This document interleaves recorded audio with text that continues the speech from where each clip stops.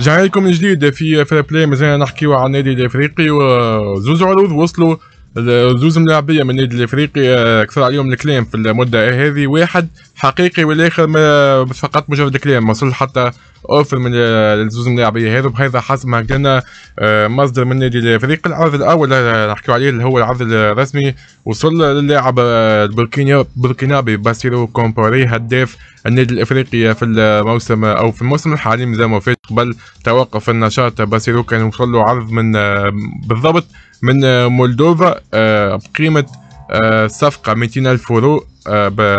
يساوي تقريبا 650 آه، مليون بالعملة التونسية. لكن إدارة النادي الإفريقي ماهيش باش تقبل آه، ال offre. ويبدو أنها آه، تشوف إنه قيمة الملاعبي نتاعها تساوي أكثر برشا من المبلغ هذا مع إنه اللاعب في كل مدة قاعدين يوصلوه des offres ما همش في قيمته لحد الآن. فما حتى offre وصل له ب 50 ألف يورو اللاعب هذا تراني فما جدية كبيرة في العروض اللي قاعدة توصل إلى باسيرو كومباوري لاعب النادي الإفريقي البوركينابي يعني خلينا نقولوا 50 ألف يورو يعني 175 مليون وإلا آه، حاجة ما تفرقش برشا على ال montant هذا donc آه، هيئة النادي الافريقي لحد الآن ماهيش باش تسلم في الملاعبي نتاعها باش يواصل الموسم وتبحث عن مواصلة الموسم القادم أيضا مع اللاعب اللي تالق في بداية الموسم الحالي. donc آه إلى حد الآن ال club رفضت آه هذا من كل اللي وصلوا. بصفه رسمية نقول الكاتب العام للنادي الافريقي من جهة ثانية. أيضا الكلام أكثر حول اللاعب اسكندر العبيدي وإمكانية التفريط فيه بعد وصول offre يمكن بحدود مليون دينار لاسكندر العبيدي أيضا.